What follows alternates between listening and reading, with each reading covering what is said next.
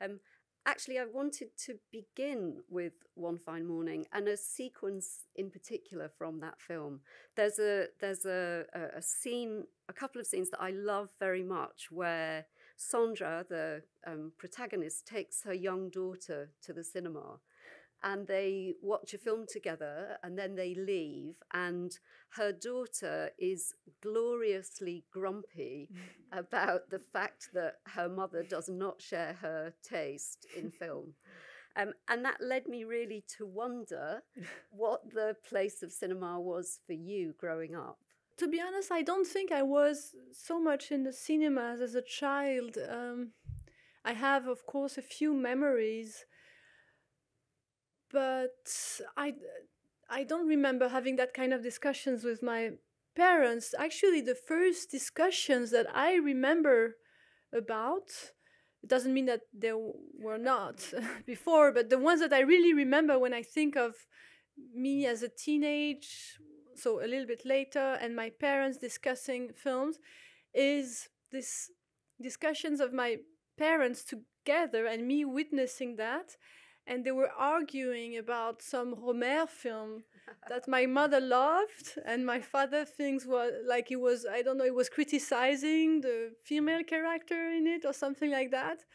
And um, and that I mean that were films that were just uh, screened on our TV but that, that that somehow is one of the strong memories that I have as a well not as a child but as a young teenager that I got into first time I I've known Rohmer is is through these discussions between my father and my mother, where my, basically my father would say that, like in a way, criticize the female character. It was a way of criticizing my mother, who totally identified with them.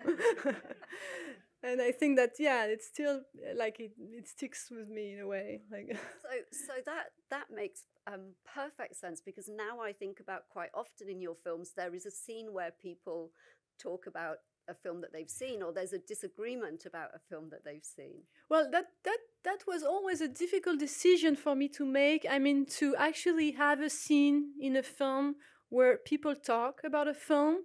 First time i did that i mean well i made my second feature uh, had to do with the cinema but but it it made sense. I mean they were just into film business so it's a different thing. But the first time that i made wrote a scene i think where the characters would talk about a film was in my third film goodbye first love and they they the two young characters they had an argument uh, as as they were going out of the cinema. And i remember at that time i wasn't sure that it was a good idea because i thought but and and that's it's probably the reason why you, you rarely see that in films that it can it, it can be a little awkward i guess for the audience when they watch a film that people in the film will actually comment on what it is to watch a film you know that it could take you uh, bring you sorry out of the film.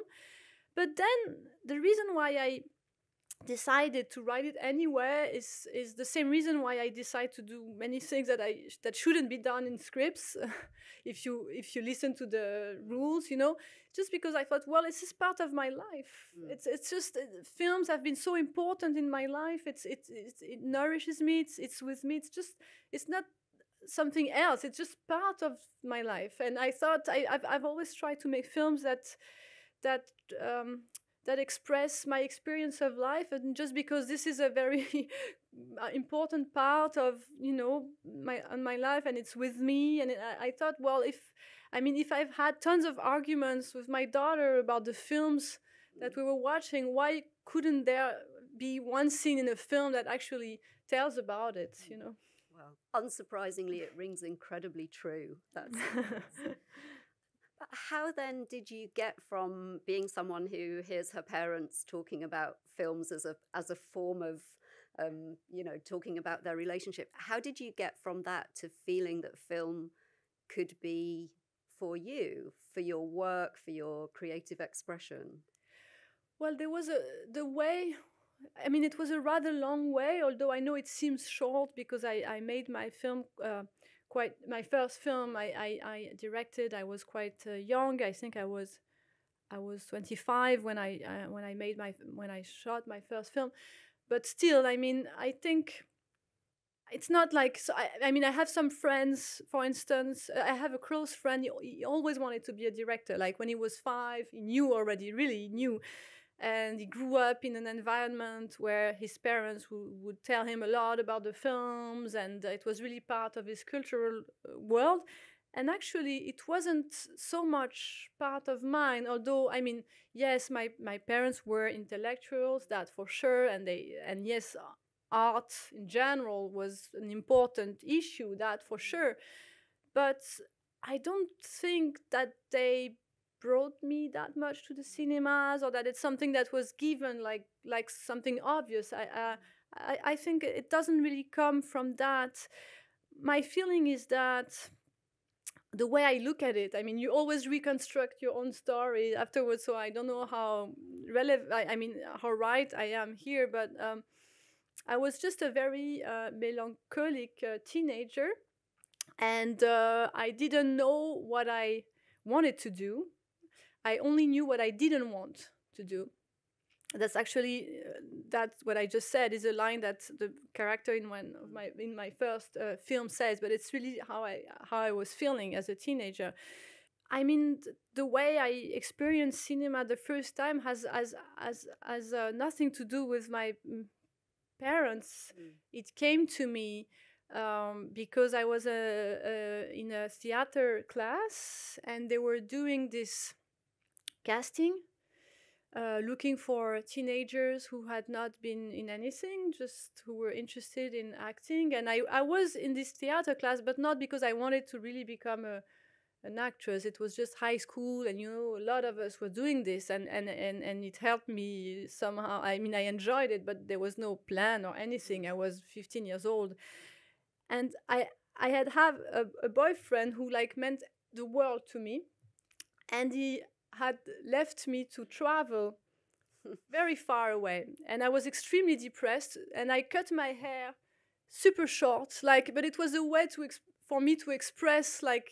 Mm I don't know, my loneliness or something. That's the way I was uh, considering it at the, at the, at the time. But I, why I tell this story now is because I'm I, I've always been convinced that the reason why I was chosen for that film is because I had such short hair that it, it was kind of I mean it gave me some kind of uh, modernity. There was something about it that was surprising and that I'm sure has helped me uh, because I was very shy. Otherwise, I wasn't. I wasn't really an actress. I mean, and and I ended up being in that film, and that has really changed my life, just because it made me experience the set and and the fiction and what the cinema is, and and and I for me there was always a connection between that first uh, chagrin d'amour, uh, love. Uh, story yeah. you know the fact that that i was uh, this kind of melancholic uh, teenager recovering, like who was not able to turn the page of her first love, blah blah blah. You know, that and me and me. I mean, it felt at that time that cinema saved my life. To say it very simple, simply. Of course, I'm exaggerating, but there was something about that. And after that, it's not that I was aware that I wanted to become a director, at, you know, immediately at all. After that, I just went back to school, and and uh, I mean, it was just I was just shooting in that film for a few days. It wasn't like a huge experience, but still, for me, it was. I mean, for for the person who I mean, it, it impressed me a lot to see how the director was working and and the kind of cinema when it deals with life is like life but more intense you know? It's like an intensification. It's like more intense life but it felt like that it was exactly what i was looking for and that it made me feel more alive you know? And that feeling i think stayed with me in the next years. It, it, it stayed with, in, with me like oh this was the one moment where i really felt alive or that i knew where why i exist or something like that that and um, and then I studied very different things. I mean, I studied German literature. I didn't even try to. I, I wouldn't go to a film school. I would have been terrified, honestly. Um, I didn't have the kind of uh, back. I didn't feel like I was that I knew enough about films that I could even try to go to a film school. Mm.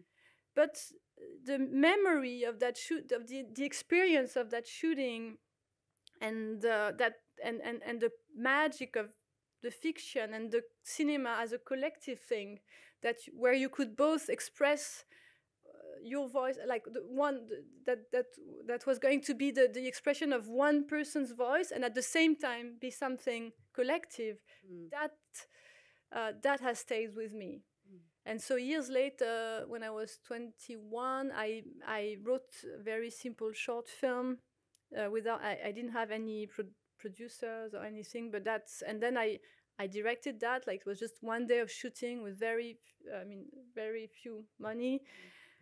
But from the minute i was on the set i knew that it was what i was looking for. There was no doubt anymore. And it it, it still it has surprised i was the first surprised that that I was so confident on a set on a, on a set where I knew nothing about the technique. I knew nothing. I mean, I, I knew very few things. I, I didn't know how you film. I didn't know anything, but I just I learned by doing. You found your place.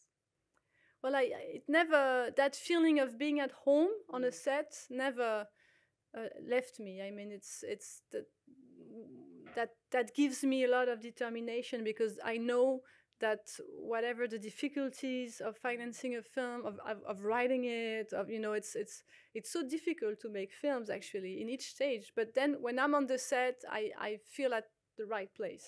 So your point about it's so difficult to make films i think is a really good moment for us to have a look at a clip that i chose from the father of my children mm-hmm. which is uh, of course your second film.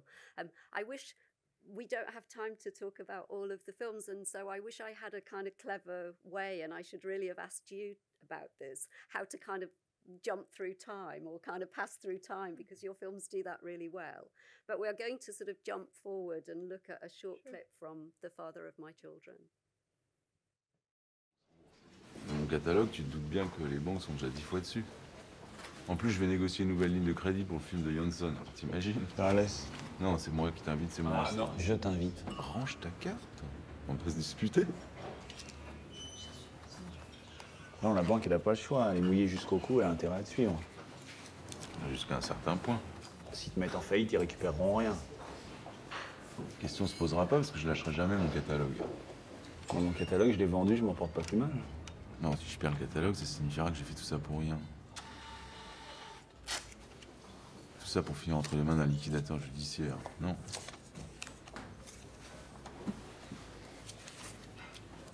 C'est quoi ce film là, Saturne? Pourquoi tu produis des trucs pareils? Stig Jansson, mais t'étais maso ou quoi? Ouais non, j'aime ces films. Mais personne n'en voulait. Bah oui, c'est pas une raison. Tu sais très bien pourquoi personne n'en veut. C'est un psychopathe. Ouais non. Il est compliqué, mais c'est un grand cinéaste.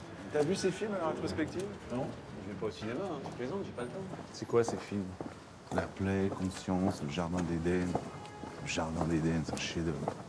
J'ai entendu parler. I'd like to ask you obviously, you write your films and you also direct your films. And those feel like um, things that require sort of different parts of you. And I wonder if you have a preference for either the writing or the directing uh, phase of making the work? Well, I don't. Actually, what I like so much about making films and why I, I do films rather than try to write books or anything else is the variety, the the vari- variety of the of the of the uh, occupations. Uh, mm. Would you say that? Yeah. You know that it's they are so diff- different roles. They, they exactly that they are so different roles and that it keeps changing. I I cherish mm-hmm. the the solitude of writing. It um, I have the feeling that it's a crucial moment in the process of a film that I need to face this moment to make the kind of films that I want to do.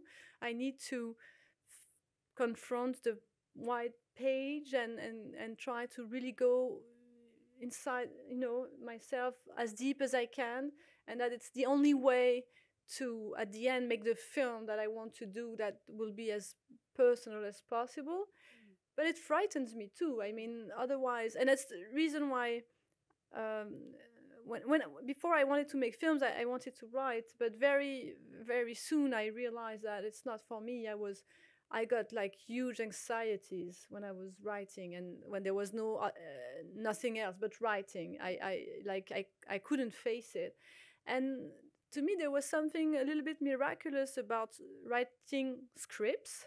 Mm. Maybe because you know it's just a stage, it's not the final thing and and, and, and maybe thanks to that I sacralize it less or something like that. Mm but the fact that it was just like a first step and it's not supposed to be the i mean the film will has a lot of more you know uh, stages until it becomes a film and it's just the beginning of the story i guess but it, it freed me somehow and so i i um i still feel anxious about writing at some moments of course it's i i never found it really easy mm. uh, but but this moment matters to me a lot and I, that's why i could never yet write uh, uh, direct a film that I didn't write.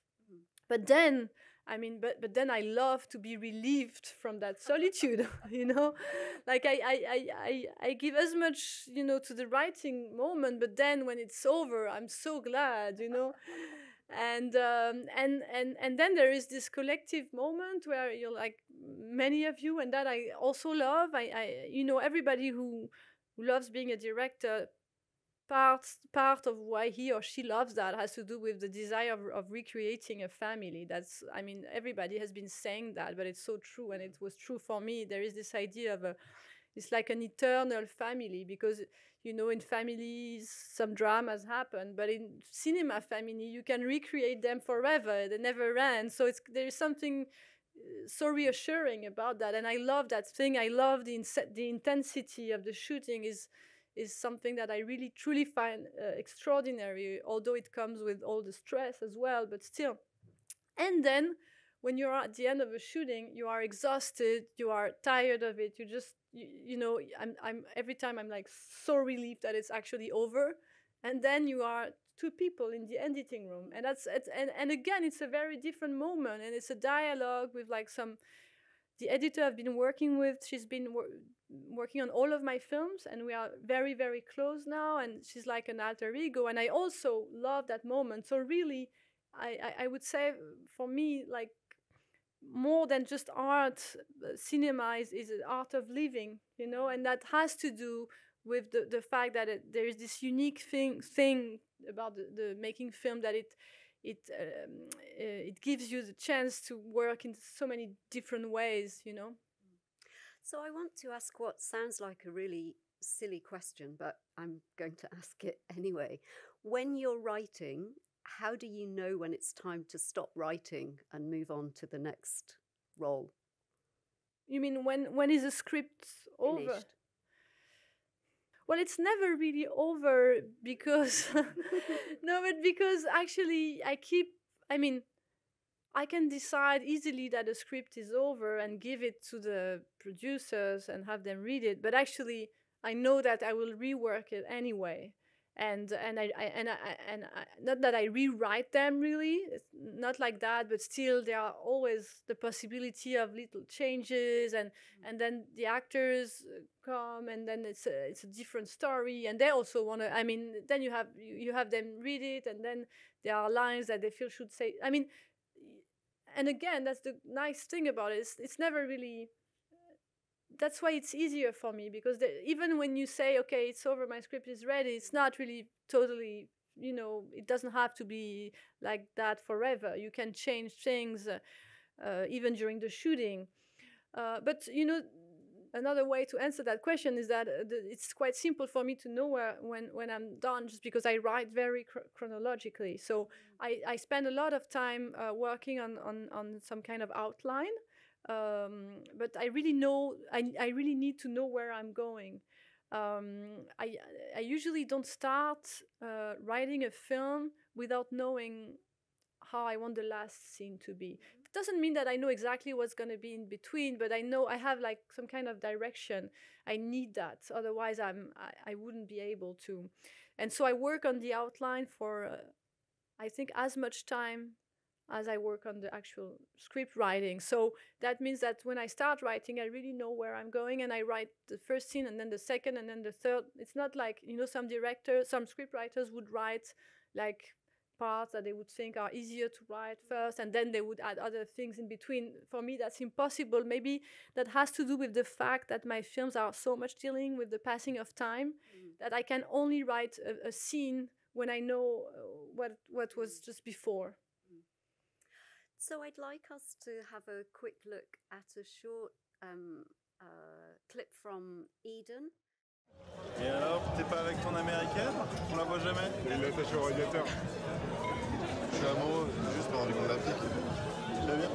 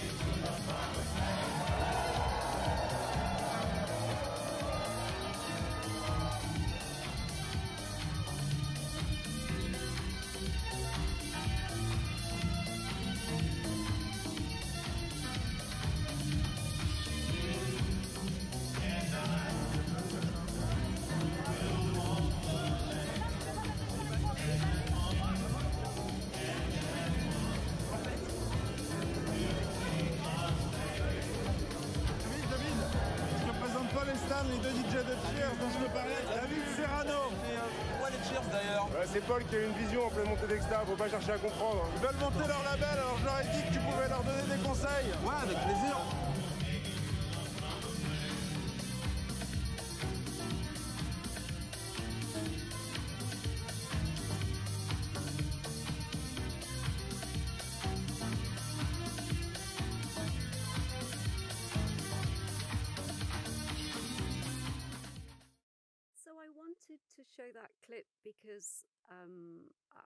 Guess sometimes we might think about your films as uh, very sort of character driven, and there's lots of uh, interesting relationships and dynamics. But I was interested to hear you talk a little bit, if you could, about shooting those big club scenes in Eden, which I think, I mean, I'm probably not the only person in the room who've watched a film and felt really disappointed when a club scene just doesn't look authentic. There are too few people, or the music is wrong, or but you really make us feel like we're there. Mm, how how challenging was it to shoot those big set pieces? Well, it was a huge challenge, but also it's an extraordinary memory. To be honest, I'd wish I'd stay in that film forever. Like I feel when I see that clip, I feel so much nostalgia about the shooting of that film, which is weird in a way because that was well, maybe it's not that weird, but I mean it was the film that was uh, from far the the one film that was the most difficult to do because it was I had to change producers two times. I mean, two times. We really struggled. It's the film that took the most time to get finance, and even when it got finance, we really made it in difficult conditions. But I was surrounded by these young actors, and and there was my brother with me, and it's the only time that I made a film. I I, I actually most I, I wrote most of the film, but I would I would ask him to write one specific scene. Like there were so many things that he, he knew more than me about it because it was uh, obviously inspired by his experience. And it was so nice to have like this dialogue with him, and um, and the, the actor, the main actor in the film, Felix, uh, who I really love, and we are still very close friends, also helped me a lot when we were struggling. So it was really like the three of us, and then a, a lot of um, young actors were unknown. Some of, some of them actually became uh, kind of, uh, I mean, famous as actors or even in other um, uh, things. Like one became a quite famous uh, cartoonist in France, and but there was such a strong energy uh, in this film, and also the fact that we were. I mean, in the music for two years now, I can't even listen to that music anymore. like because I've, I've one one thing is that I've, lis- I've I've spent too much time listening to that, and the other thing is that I it makes me melancholic again, you know, because I want to get back, you know, that youth. But it was, uh, I mean, what happened with that film is that I had made a film before, Goodbye First Love, that was kind of autobiographical about uh, what I was telling you earlier about that. th- how vocation came to me after you know uh, a, a heartbreak uh, but after i had made goodbye first love some friend of mine told me well you look at your youth like as if there was only about that but actually you should remember we spent so much time in the clubs at your brother's parties we had fun and and actually it made me realize that that there was this also and that these moments were really collective and and the, some of the strongest moments of my youth. And i um and and and they came from my brother. I mean it, it that was thanks to the fact that he had been that this dj in the middle of this very exciting scene. And i realized that if i wanted to look at my youth not as like to take more distance maybe and not look only uh, at my own personal story but look at the whole story of the people like of the generation i was in. I realized that it actually my brother's story was the one that should be told you know? And that's how it started. But it it it, it turned out to be um, yeah the, the one of the most stimulating and exciting um, i mean I always find shootings uh, shootings exciting, but the fact that it reconnected me with that youth, uh, yeah, that that was really special. But just the even the sort of choreography or the management of that scene where you have you know a, a huge kind of club scene and then you're also following individual characters through it. Yeah, well, we were very aware, and to go back to your question, that I mean, both my brother and I, we didn't like the way club scenes were filmed in general. We thought it, everything was very cliche, you know, and also the way the sound was used and uh, the choice of the music itself. It was always the same kind of techno and always the same kind of shots, and and and we both agreed from the start that we wanted to make a film that would be much more authentic about the experience of clubs and i was lucky that i mean it was my brother's life. He had been in that since he was 15 years old um, and uh, he was trying to get to turn that page actually. It, he was maybe 40 years old when we uh, wrote it and it was a time where i thought he should really stop being a dj uh, but it wasn't easy for him. It was a difficult process, and in a way, making the film was a way for him to move on too. You know, to turn that page of his life. Uh, but what I mean is that we all these scenes. Um, yes, there was a lot of attention on our side, uh, and ref- I mean, of thoughts on how to film these scenes in a way that we, on the one hand, yes, we want people to enjoy the music the way we do, but we don't want to create this. Uh, atmosphere the way uh, like to make them look like they, they look in so many films where it's so conventional and actually not so deep you know about and we, we, we wanted the experience of music to be deeper than in other films. And i think one of the actually what i could talk about how i filmed the, the scene but another way to to tell about it would, would also be to say that the choice that i made to portray a dj who actually doesn't become famous that was the big i think and that connects with also how we wanted to film the club we mm. we wanted people to enjoy the experience but we also also wanted to be true about what it actually is and and the difficulties that to that and the addiction and all the other stuff that came with the pleasure you know there was the pleasure and the excitement but there was also some suffering involved at some point and and want, we wanted to show the whole picture of it. And uh, I think it was, um, to me, the audacious choice about the way we looked at that story was that I chose to tell the story of a DJ who ultimately doesn't become a superstar and, and, and stops being a DJ at the end, you know. Yeah.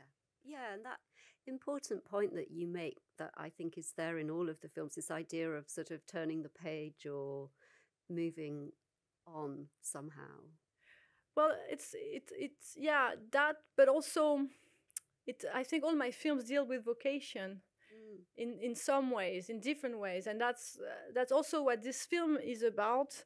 Although the tricky thing about that film is that at the end you realize maybe his vocation will be to be a writer. So the whole film tells you the story about his relationship to music and his vocation seems to be like that to be a DJ and it doesn't mean that it wa- that he that it wasn't I mean in the heart of his existence but my idea of it was like that he had to at the end maybe what he really has to become is a writer but it's a long it was a long way. It took him a long it's like a long long travel until he can find who he is. And that the film was was in that way i would say. The film was not as pessimistic as it looked to be but people people thought it was extremely melancholic which is which is ironic you know because when i started writing it i thought it was going to be my most i don't know.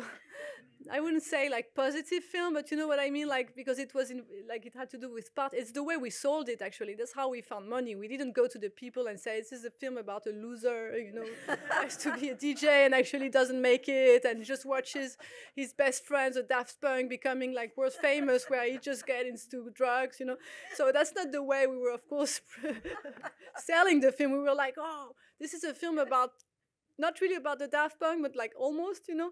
and it, in a way, it worked because we made it. But at the end, when people saw it, they were like, "Oh, you know, like this isn't really a film about partying." So it it turned out to be my most melancholic film, and I wasn't really. I mean, I knew somehow because I knew my brother, and I knew that his relationship to this was very complex and that it, that I knew about all these difficult moments that I wanted to tell but I wasn't that aware of how I mean dark the film would uh, look like for some people.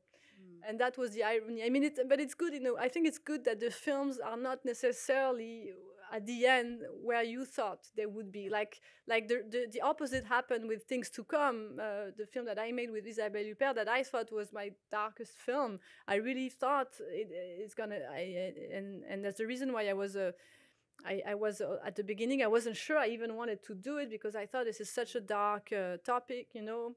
The film is and and actually turned out to be the films the film where people would tell me, "Oh, this is your funniest film," you know, and I, I, I, that also surprised me a lot, you know. So So we have a clip from Things to Come. So let's have a, a look at that and then um, uh, talk a little bit about that. Je peux te prendre une taf J'en ai tellement envie. pas une entière Non, non, juste une taf.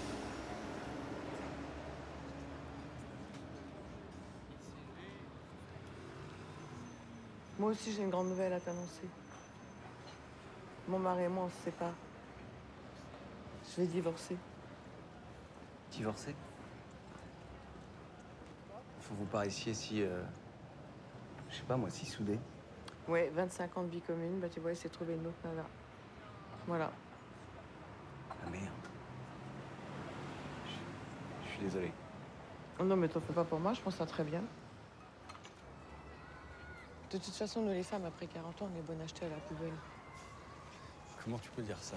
Surtout toi. C'est la vérité, c'est tout. T'en vois souvent, toi, des femmes qui quittent leur mari à mon âge? Mais évidemment, il y en a plein. Dans les films. Je suis sûr que tu vas retrouver quelqu'un, il n'y a pas de raison. Penses-tu? Pourquoi pas? Je te trouve bien naïf, soudain. Avec qui tu veux que je refasse ma vie? Avec un vieux? Non, merci. Avec un jeune alors, si t'aimes pas les vieux. Comme si je vais me mettre avec un jeune. C'est pas mon genre. Tu sais, c'est pas si grave, ma vie n'est pas foutue pour autant. Au fond, je m'y étais préparée. Et puis, je suis pas à plaindre. J'ai la chance d'avoir une vie intellectuelle bien remplie. Ça me suffit pour être heureuse. Vraiment?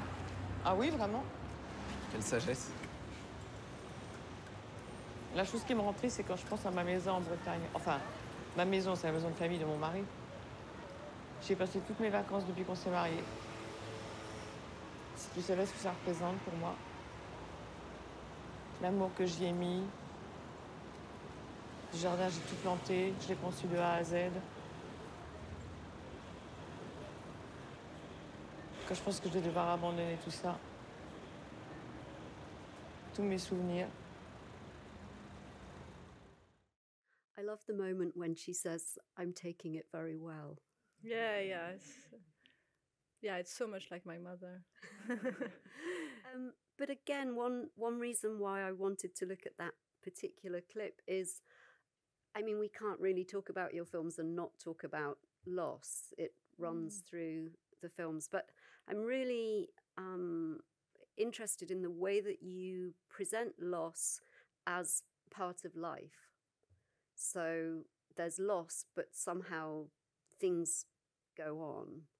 And I wonder how you manage that balance. So there is kind of there's loss and there's uh, real sadness. I mean, more than melancholy, um, but also then, as in this scene, there's humor and there's lightness too. That feels to me like a really delicate balance that you're managing.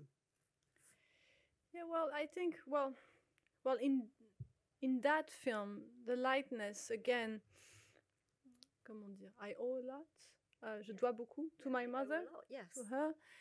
Uh, I think I realized there was a retrospective of my films recently in Paris, and I usually don't watch my films again, but I here I had to watch like here like clips, and I realized every time there is a mother in one of my films, she always is the one who brings like some humor and some lightness to the scene, and I'm very thankful to my mother for that because I think it really has to do with her sense of humor.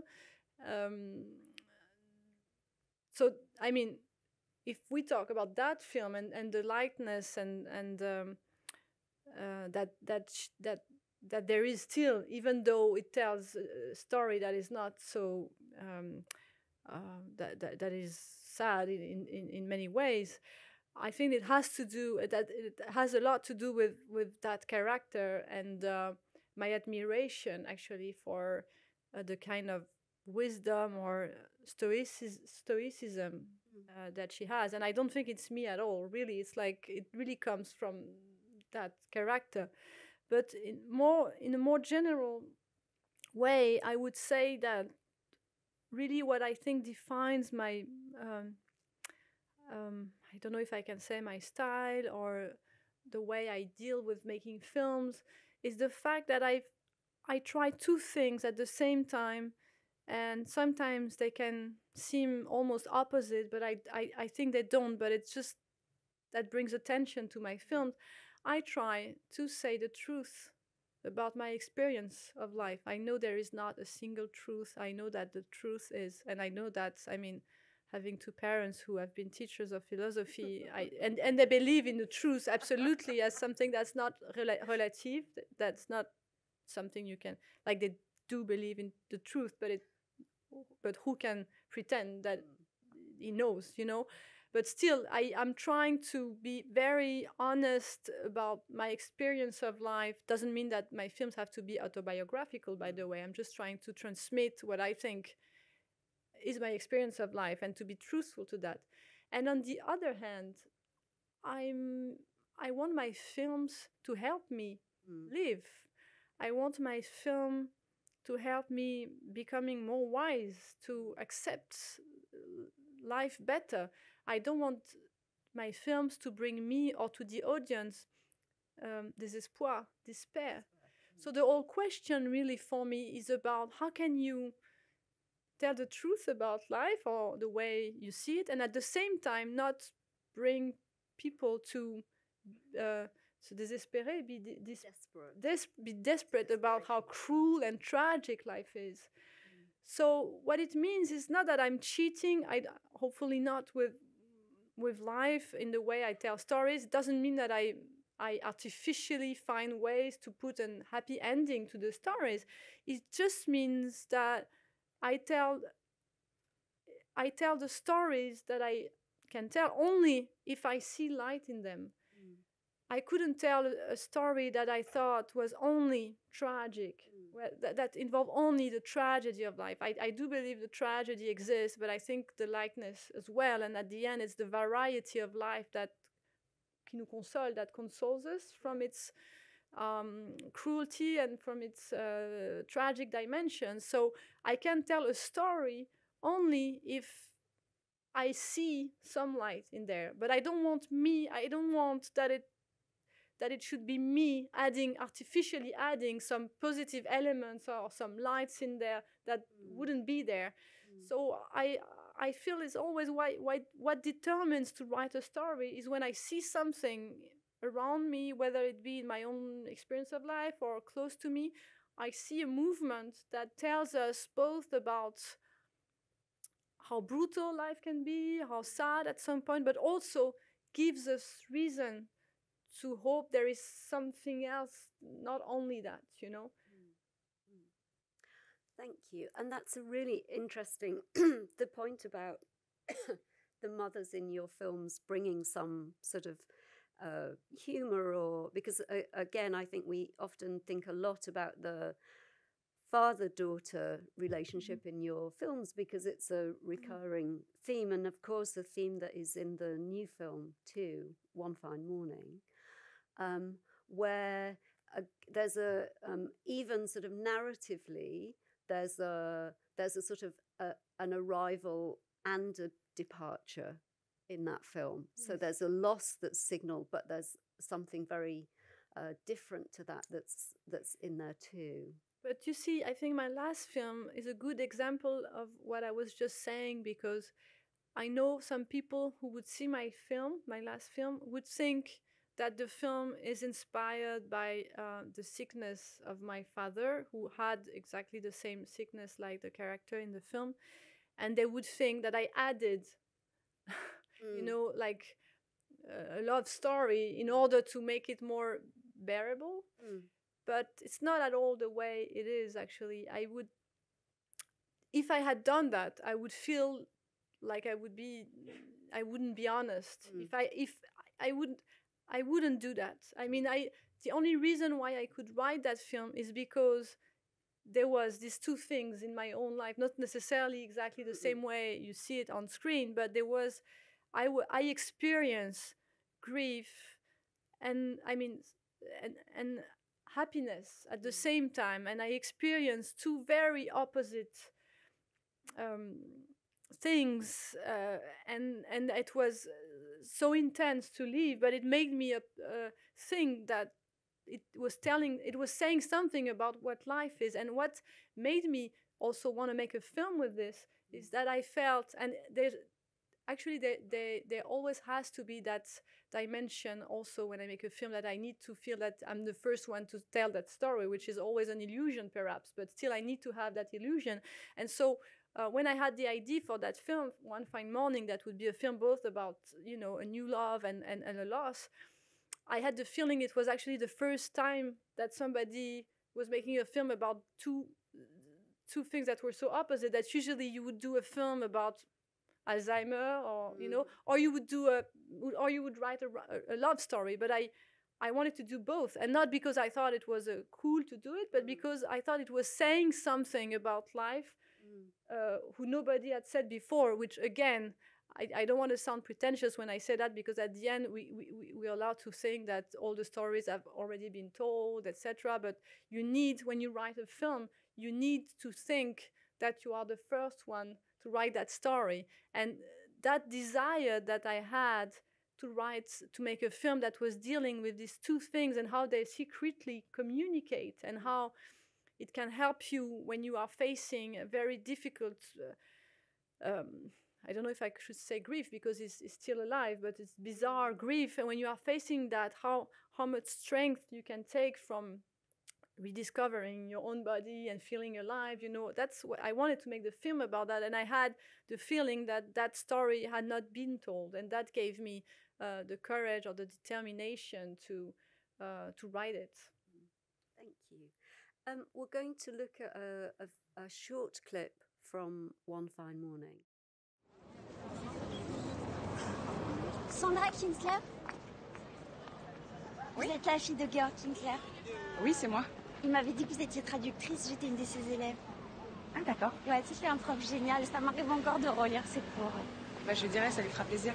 Est-ce que vous voulez bien me donner son mail? J'aimerais bien lui écrire. Euh, oui.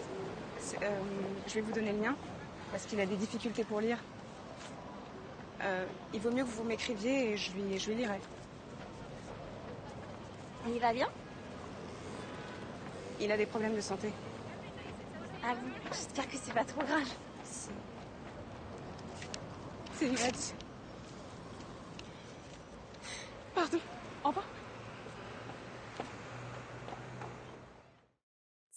Mia, you already spoke very eloquently about the film and what you were hoping to do with the film. So, I think we will um, open up to questions. Please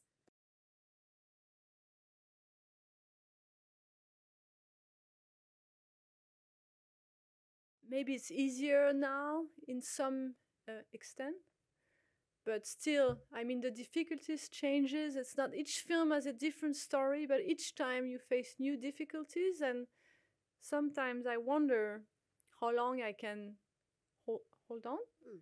for now i'm okay i'm good but sometimes for the first time recently actually i mean until recently i thought like I will always have this, you know, this strength uh, about me, like that I continue making films. I'm never going to be, you know, discouraged. Like, and it's kind of um, frightened me Mm. to feel not that I was discouraged, but to feel that I I could imagine being discouraged for the first time recently because, well, I've made eight films, so each film is new difficulties and it could i wonder sometimes if at some point after how many films could i feel some lassitude of tiredness Mm. of having to fight each time um, to get the film done. I mean not i don't want to sound like i'm complaining about it because i feel i still feel very lucky that i made all the films that i wanted to.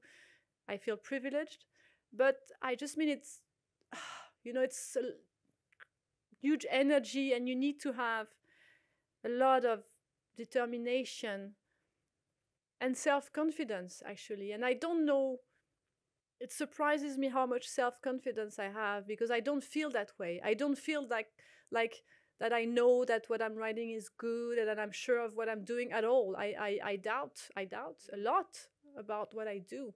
So I, I, I feel I, I feel very lucky actually that all the critics that I got about my scripts didn't take away ever yet my desire or self uh, confidence on, on, on the scripts that I was writing. But maybe the good thing for me is that I have my own doubts, but they are different Mm. from the critics that I receive. And in a way, the the crit the critic the critic the Critique. critics that I get um, make me even more sure of me wanting to do this or that. That's the, the chance that I have, I would say. About that is when I when I finish a script and I give I give it to you know the different people you have to give it to in order to get some money basically, and I get a lot of uh, cri- crit- critiques. critiques. And uh, most of the time, it makes me angry. and it makes me even more sure that I have to make that film precisely for the reason why they think the film shouldn't happen, you know, in a way.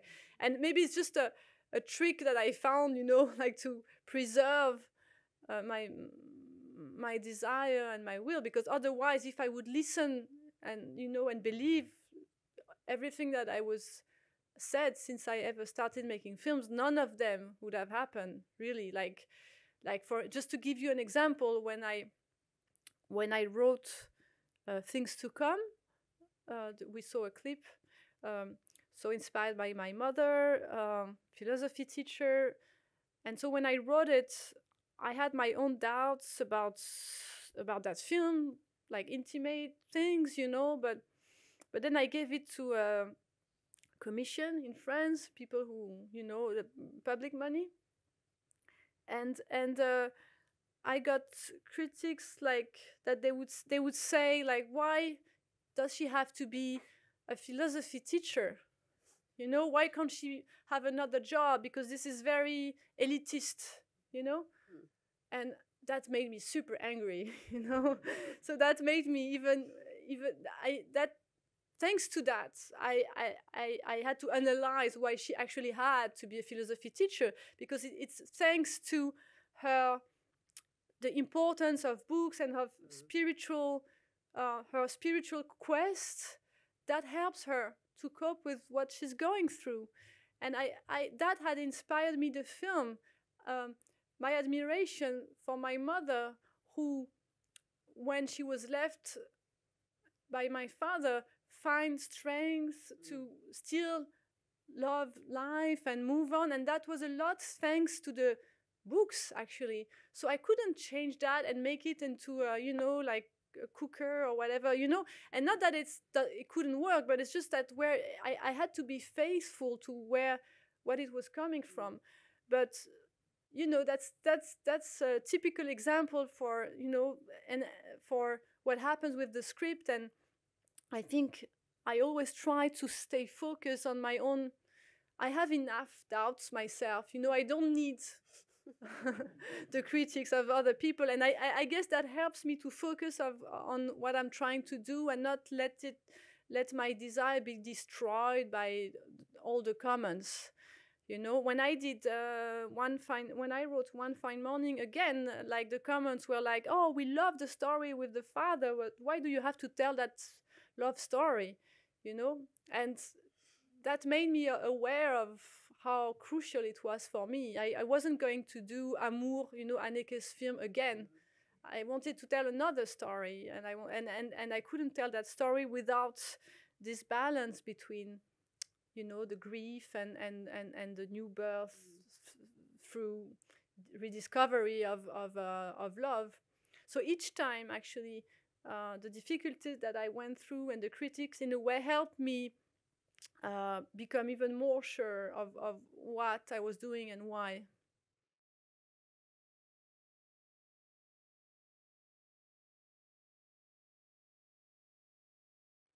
it's hard to answer that question shortly because it's a it's a big issue in a way. Uh, I think I'm lucky that the people who are close to me, the ones you think of, I guess, like my well, my brother actually wrote the film with me, so he was involved in that process, for instance, of Eden, so that that made him part of, uh, of you know, of the thing, so he, he couldn't feel excluded, or that I was using his life in a way because he was part of the the writing. My mother, I, I, have to be kind of precise if I answer now because there are specific people, you know.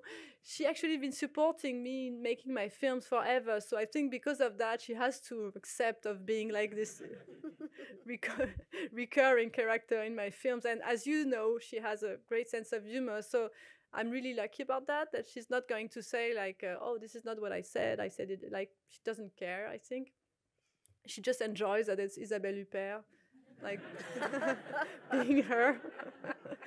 I think that's the main issue for her.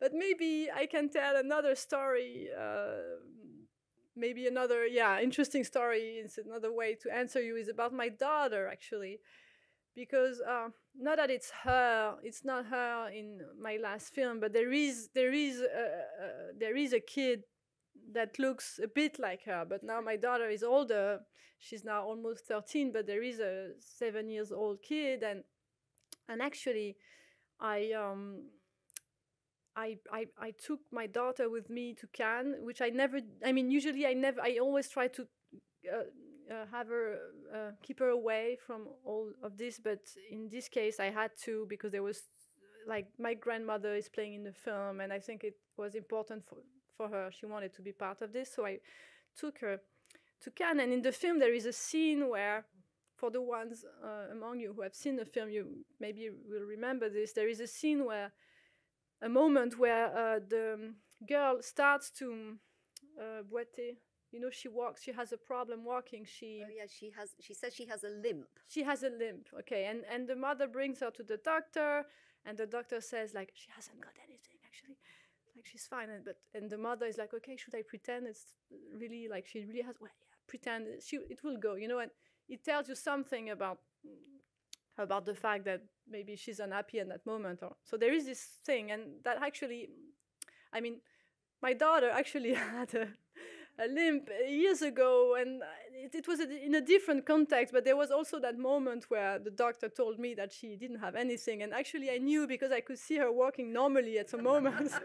And then and then and then when she, when i was watching her but you know it, it went to the point where in the school like the, the, the, the teacher called us saying like she can't walk in the stairs the, the, the pupils have to carry her bags because you know it went pretty far actually more far than in my film but anyway so she and she didn't know that was in the film and she came to the screening in Cannes and she got so angry after that.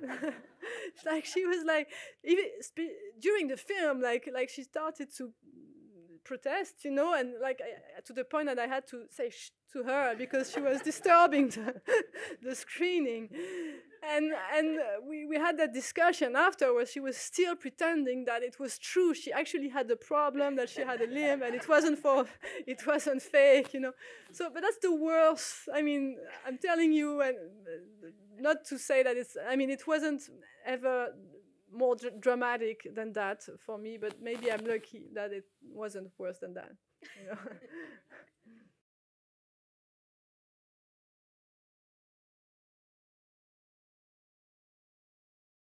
I would say Bergman Island is very special for me uh, uh, in terms of script writing because it's the only thing that I wrote that isn't realistic. I mean, if we take the definition of realism, I guess um, uh, Bergman Island is is the only story that I said that was that I wrote that wasn't following the the rules that you usually follow. Uh, but but the amazing thing about it for me is that it was never. I never said to myself, "Oh, I want to write this film that will." not follow the rules and where I will go from reality to fiction and I will like make a very complex way of telling the story. Uh, it wasn't like intentional. What I mean is that it just happened because I was trying to make a film. I wanted to make a film that really captures the process of writing for me, how it works, how inspiration works, and how when I write, I, I, um, there is this confusion that I that that I create or that comes from the writing process between uh, the real life and the imagination. And at some points i don't even know anymore. And i, I actually don't like what really happened and what was things that i made up in a way. Um, and i wanted to i wanted to capture that and and it's because i wanted to capture that that i I wrote the film that way. It's not because I wanted to write in a different way than my other films. So actually, even though at the end it's a film where you have this more of a strange or surprising or complex structure with a film within a film and then there is one more layer at the end where you don't know where you are but it it it, it can what i mean is it, it seems like it's something theoretical or more intellectual or more abstract but it wasn't Fårö me to write strangely enough. Like i just i i uh, I wanted to write a film that would be about a couple of filmmakers that would deal with inspiration and creation and that would be set on for and i knew that at the end i knew as i said i when i start writing i always know where it's going. So i had uh, the notion of the last scene and that's how that happened like that how it, it uh, turned out like that i had to write i, I had to go within the, uh, chris's film and I, I, I, had to really let that be um, told on screen and but it was just the expression of what i was trying to say. It wasn't an intentional trying of me to like uh, you know uh, tell a, a, story differently. And i actually enjoyed it a lot because again because there was nothing it, it was effortless to be honest. It's not that i tried the, the, the, script to look more original. It just happened thanks to what i was um, telling about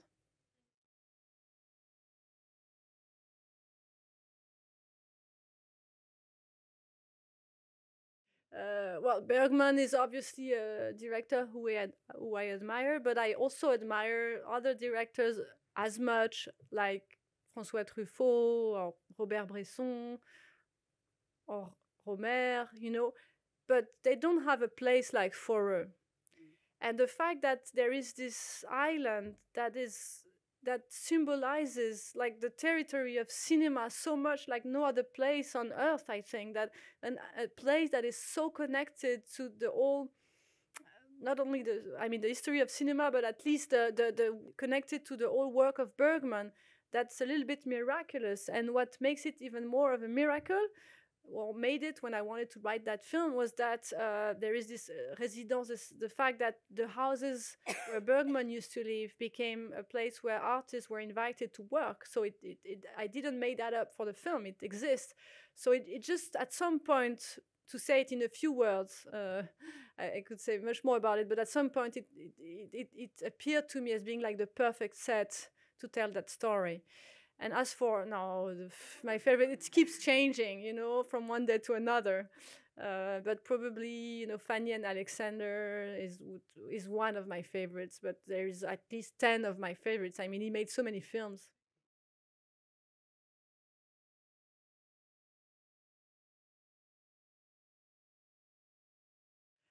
Well, I, I think when I write, I, I do have a quite precise idea, again, as I said, of where I'm going. But it's just, I have like, it's like I have the road, you know, I have like some, how would you say, stones, like, mm, stepping stones. Yeah, I know uh, it has to go this here and there and then here, you know, like, but that's just a way. But then, of course, the experience of actually writing the script makes it different. Not not not what it's really about. I don't think i ever made a wrote a film where at the end i thought i thought the film was going to be about that and at the end it's about a, something really different. I think i think i think a lot of the films and the, the emotions that i that habit me before writing they are still the same at the end. So i'm, I'm basically trying to get closer to these emotions but what really changes the thing and gives the whole meaning to it, it how it uh, unfolds, how mm. uh, comment ça s'incarne, how it incarnates. Uh, yeah, well, I think unfolds. Yeah, it's just it's just it's about something that at first is abstract and it becomes more and more real.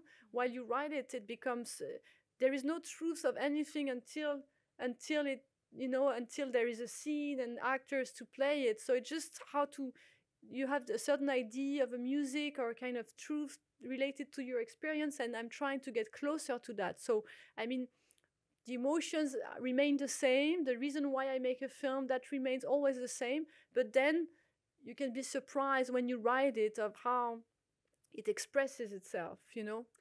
I'm so i mean i'm sorry that we have to stop, but you have been incredibly generous with your time and with your thoughts. I wish we had more time, but uh, maybe another time. Um, please join me in giving a huge thank you to thank Mia Hansen-Løve.